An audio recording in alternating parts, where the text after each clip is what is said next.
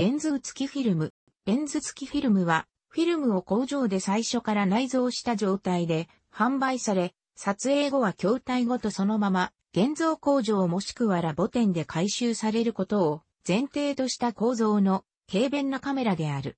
1980年代に出現し、一時は広く普及した。一般的に使い捨てカメラと呼ばれることもあるが、メーカーなどの写真業界では、そのような故障はしていない。詳細はレンズ付けフィルムの出現を参照。筐体、内部構造ともども大部分がプラスチックで製作されている。カメラとしては、ごく簡易な固定焦点式がほとんどで、シャッタースピードも固定されている。露出調整は、機械的な調整によらず、ネガフィルムそのものの広いラティチュードに頼り、絞りもあらかじめ絞られて、F11 から16程度パンフォーカスにより、ピント調節を省略している。このため、ユーザーは最小限のカメラ操作で簡単に写真を撮影することができる。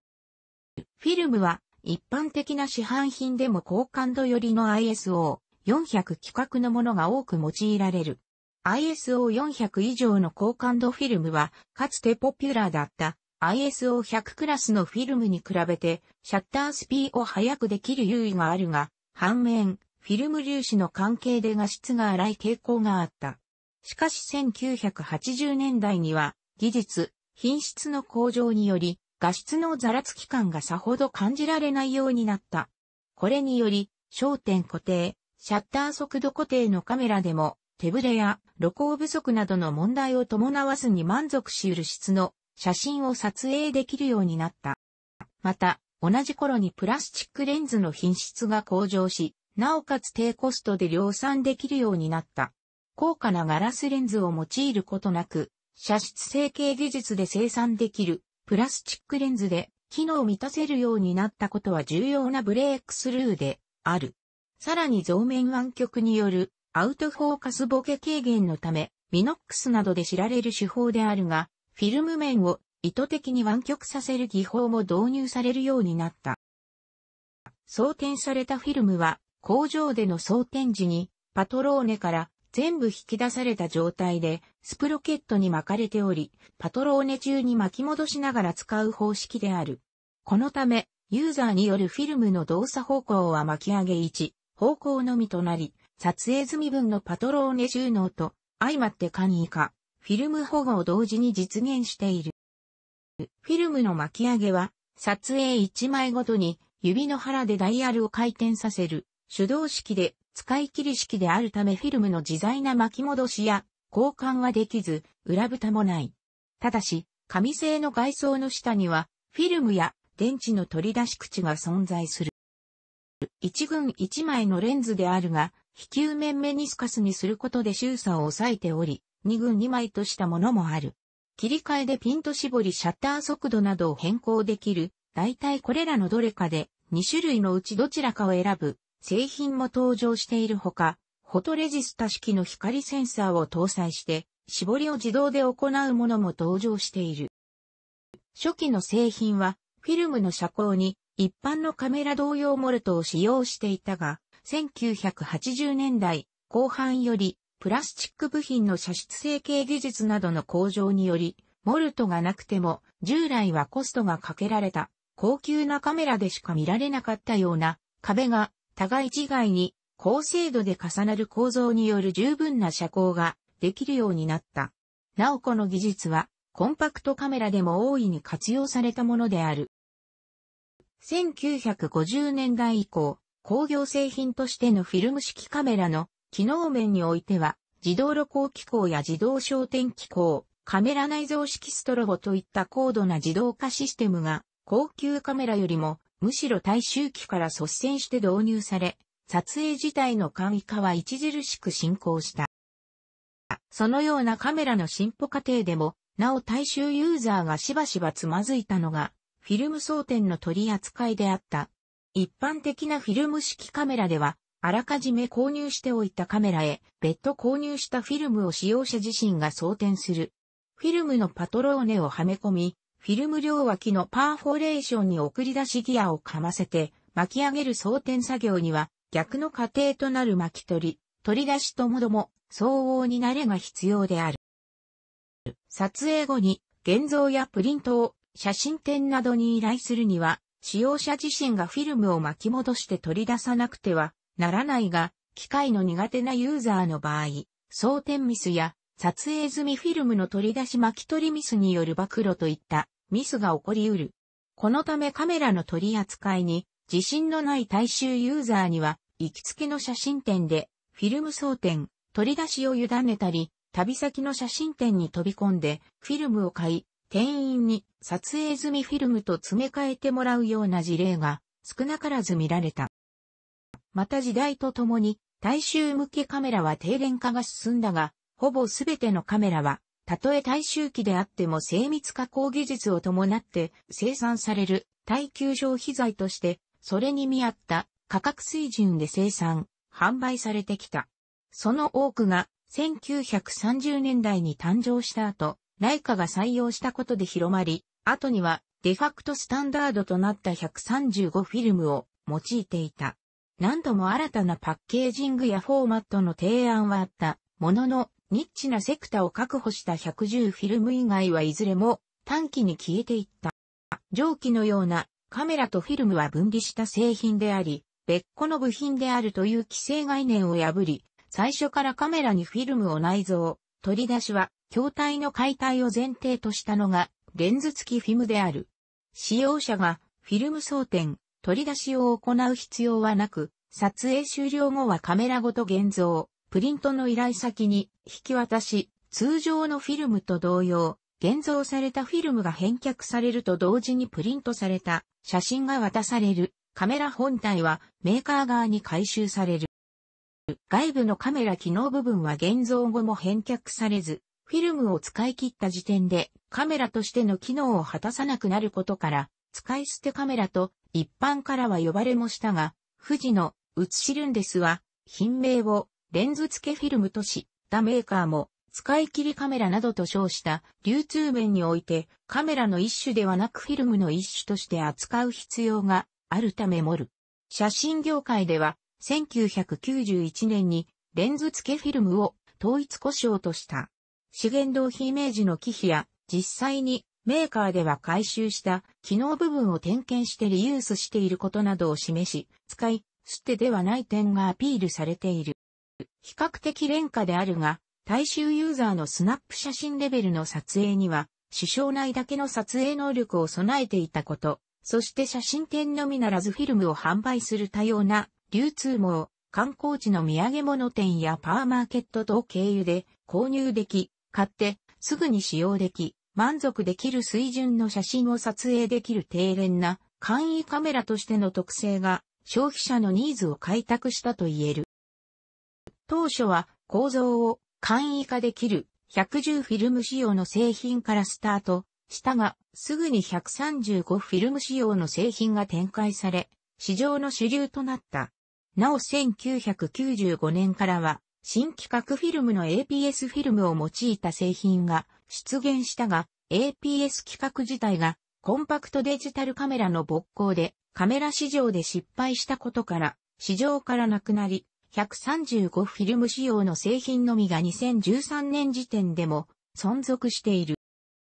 当初は通常のカメラの代用品といった位置づけであったが、ストロボ機能をはじめ、パノラマ、簡易な望遠、水中写真など、当時の普及品コンパクトカメラでは、撮れない写真が撮れるといったコンセプトの商品が現れるなど、デジタルカメラの普及以前には多様なラインナップのある商品ジャンルに成長した。レンズ付きフィルムはインスタントカメラと誤って呼ばれることもあるが、これはインスタントカメラという語が本来指すポラロイドカメラや富士フィルムのフォトラマ、チェキ行ったその場で描写したプリントが得られる方式のカメラのことを全く知らない層にまで普及し、かつ、インスタントの意味を即席ではなく、簡易と誤解しているためである。コンセプトとしては、19世紀末期のコダックの有名な、キャッチ、あなたはボタンを押してください。我々が残りをやりますを、20世紀末期の大量生産文化と DPE サービスの普及を背景に極むまで推し進めた商品と言えよう。ジョージ・イストマンが1888年に開発して商業的に大成功したオリジナルコダックのシステムはメーカーで100枚取り、ロールフィルムを簡易なカメラに装填、ユーザーは撮影を終えるとメーカーにカメラを送り、メーカーは写真を現像して新フィルム装填済みのカメラとともにユーザーに送り返すというものであり、後年のレンズ付きフィルムに酷似した着想であった。やがてコダックのカメラシステムが世代交代してフィルムはユーザー自身が交換するものとなり、オリジナルコダックの着想は過去のものとなった。その後の写真誌において同じ種子の製品は数種類登場したが、現像の取り扱いの問題もあって普及しなかった。例えば、1949年に、フォトパックという会社は HM スタイルズが発明した1.29ドルで製造できるボール紙でできた使い捨てカメラ8枚取りを販売したが流行らなかった。1960年代にはフランスの FEX という会社が Photo-Pack-Matic というプラスチック製の使い捨てカメラ12枚撮り 4x4cm を発売した。これも一般化には至らなかった。商品として一般的な存在になったのは、1986年、昭和61年に、富士写真フィルム、現富士フィルムホールディングスが、写ルンです、写ルンです、日本国外名 QuickSnap を発売したことによる。外出時にカメラを忘れた場合などの際、臨時で買い求めるといった用途を想定した一種のニッチ商品であったが、観光地など出先で買い求めて即座に撮影できる手軽さでヒット作となり、急速に普及していった。初期モデルは元からカートリッジ式の110フィルムを採用しており、言葉通りフィルムケースにレンズとフィルム面までの間の暗箱をつけたものであった。その後すぐ一般的な 35mm フィルムで当時の常用としては高感度の ISO400 を使用したモデルが登場し、そちらが主流となったパンフォーカスの性能を成立させるために暗いレンズを用いた子から、これを高感度の ISO400 フィルムで補った。富士フィルムの成功を追って、各フィルムメーカーや他業種からも参入があった。などの競合フィルムメーカーがこの分野に参入し、他にもなど家電メーカーや大手スーパーマーケット等の参入が見られた。また、レンズ付きフィルムと同程度の機能、性能のカメラであれば、従来のカメラより大幅に安価に作れるという発想から、富士フィルムのスマートショット等、レンズ付きフィルムに類似した構造、クオリティでユーザーによるフィルム詰め替えが可能な使い捨てないカメラとでも言うべき製品も現れたが、そちらは品質面からも商品のセクタレンジ的に近いトイカメラに吸収されるような形となった。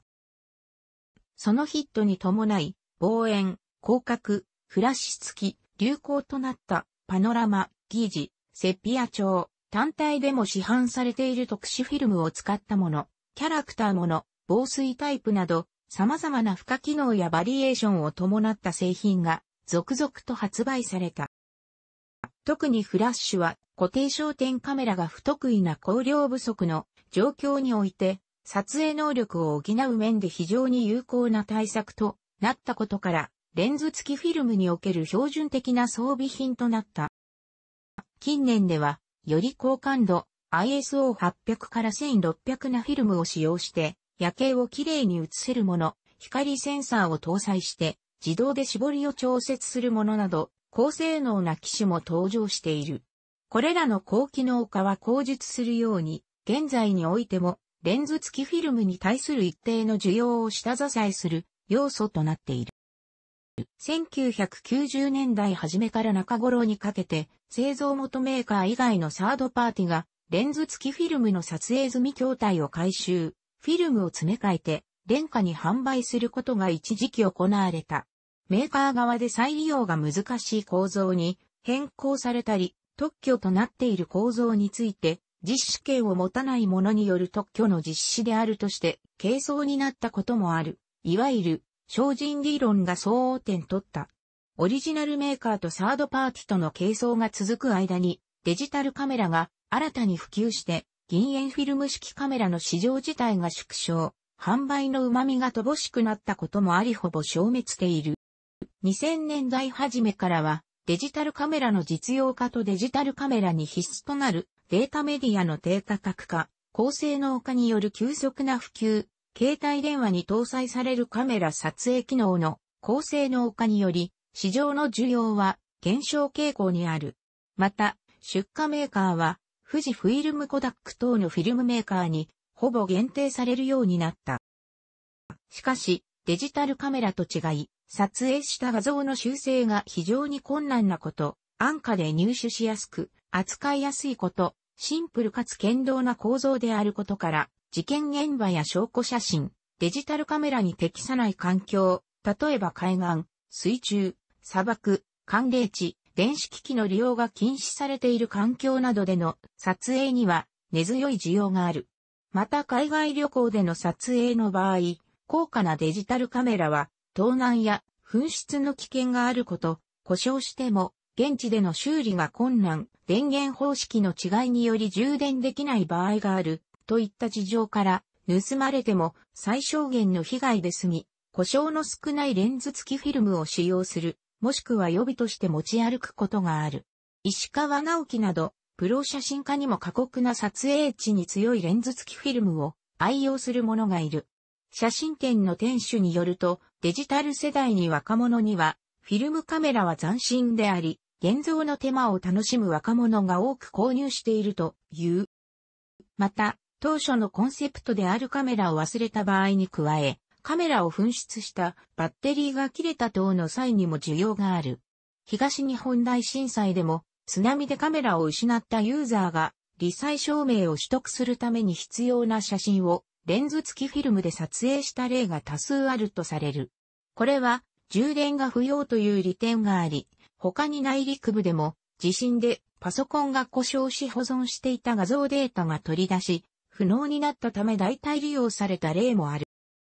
レンズ付きフィルムが登場するまでカメラは低価格化、操作の容易さが進んでいたとはいえ、基本的には高価な商品であるため、紛失、盗難による事故や事件を防ぐ目的から、一部の学校では修学旅行など学校行事への個人、所有カメラの持参を制限もしくは禁止していたところが多かった。また、教育上の視点から携帯電話の持参を禁止したり、それほど安くはない商品である。デジタルカメラに関しても旅先での紛失や盗難に遭うことを考慮して、生徒の持参を禁止する考えを貫く学校もある。しかし、安価で生徒にも買える存在であるレンズ付きフィルムであれば、学校としても旅行への持参を許可する、あるいは旅行期間内の撮影用として、学校側から生徒へ配布するという傾向はある。1990年代、高校生を中心として、レンズ付きフィルムを使っての自分撮りが流行り、超広角レンズと前面にミラーを配置して自分、撮りがしやすい機種や、あるいはフィルムメーカー純正のセルフタイマー付き三脚などが登場した。しかしこちらは、プリクラの普及、自分撮りを意識したカメラ機能不携帯電話の登場、さらにはデジタル化され撮り直しや簡単な加工も可能になった自動証明写真撮影機などにその役割をとって変わられている。レンズ付きフィルムは特別に写真についての知識のないユーザーでも気軽に使えるように設計されているが、操作の簡略化を実現するためにカメラの性能はあくまで限定的なものとなっており、撮影時に以下のような制約がある。これらはいずれもパッケージに注意事項として記載されている。レンズ付きフィルムの大部分は日中の屋外での一般的な被写体を撮影することを想定しており、内蔵のストロボは日陰や逆光時の補助光源としてのごく低出力のものである。また、ネガフィルムは露光過剰には強いが、露光不足には弱い。このため、フラッシュ使用時に離れた被写体へ光が届きにくい。また、本格的な夜景を撮影することは難しく、屋内での撮影も露光不足を起こしやすい。ほとんどのレンズ付きフィルムのピントが合う。撮影距離は1メートル以上となっており、被写体に近づきすぎるとピンボケになる。また、レンズがボディに埋没した形状のため、撮影時に指の位置に気をつけないと、撮影者の握り込んだ指がレンズに映り込んでしまう。一般的なレンズ付きフィルムでは、巻き取り機構の簡素化と撮影済み画像の保護の目的から、フィルムはパトローネから引き出された状態で装填され、1枚、撮影するごとに1コマずつパトローネに巻き込まれる、プレワインド方式の電動コンパクトカメラと同様。したがって、ネガ上のナンバーと画像の撮影順が逆になり、小さいナンバーの画像ほど新しい画像になる。このため焼き増しなどの際には、ネガフィルムの確認に注意を要するほか、CD 書き込みサービスを利用する場合、CD への書き込み順が撮影順と逆になることがある。俗称、使い捨てカメラなどもあり、大量消費社会の象徴として、やり玉に挙げられることもあった。そういった事情から、回収し再利用していることがアピールされるようになった。現在は各メーカー、ほとんどの商品がリサイクルされている。大半の部品は分解の上、点検して再利用、破砕して原料として用いるなどの手法でリサイクルされる。特にストロボの電源の電池にはアルカリ乾電池、なお海外製品の一部にはマンガン乾電池や積層電池のものもあるが使われており、容量に余裕がある最大枚数の39枚にすべてをストロボ、移したとしても残容量があることから再利用の筆頭となっている。現像店舗によっては電池をもらうことができるほか、障害者支援の一環として電圧測定、梱包を委託した上、リサイクル乾電池として販売しているケースもある。なお、富士フイルムではパナソニック製アルカリ炭4電池 LR03 G 相当もしくは炭酸電池 LR6GW ウルトラアルカリ AM3 が使用され、コーニカは山陽電気製アルカリ炭3電池 LR6A、コダックはコダック製アルカリ炭酸 LR6K が使用されていた。パナソニック製の炭4電池は2013年現在一般に販売されている LR03XJ よりも若干容量の少ない業務用、機器組み用となっている。そういった電池はほとんどが市販の電池のように使用推奨期限等の記載がなく、使用に関しては乾電池チェッカー等でチェックしてから利用する方が良い。また当然ながらメーカーでは流用について一切の保証をしていないので自己責任で利用する必要がある。実際に利用してみても市販されているアルカリ乾電池と比すると明らかに電池寿命博懐中電灯、掛け時計、ラジオ、コンパクトカセットを再生できるヘッドホンステレオなど省電力機器に向いている。一方でメーカーの意図しないリサイクルがなされていた事例もある。前述のサードパーティによる詰め替え製品の節も参照。1990年代前半頃からメーカーとは無関係の企業によって使用後の製品にフィルムを再装填した商品がディスカウント店などで市販されていた。見た目にはパッケージはほぼ透明のビニール袋に包まれ本体そのものに巻かれた紙パッケージには注意書きすら書かれていない通常のサイズのパトローネが使え最初の巻き取りが容易な構造でる初期型の富士カラーブランドのストロボ仕様のレンズ付きフィルムが圧倒的に多かった。実売価格は、おおむね500円程度とメーカー品よりも当然安かった。現在はメーカー側が構造部品に再装填を防止する対策を施したため、近年ではこのような製品はほとんど見られなくなった。フラッシュ内蔵の商品には電池の電圧 1.5V をフラッシュが点灯できる高電圧数百ボルトまで昇圧させる回路が内蔵されている。チャージされた状態のコンデンサに触れると高電圧に関連するので大変危険である。メーカーは分解を禁止しているが、電子工作マニアなどはフラッシュ内蔵商品の昇圧回路 1.5V を約 420V に昇圧を利用してストロボスコープや高電圧発生器を製作したり、基板上の変圧器、トランスや高体圧コンデンサ、トランジスタやキセノン放電管を部品取りし、利用する例がある。ただし前述の電池容量、寿命と同様、それらの部品も、ロールフィルム1本分アルファ程度の耐久性を持って必要十分であるとして、選択や設計がされているものもあり、実験的な使用を超える用途では注意が必要である。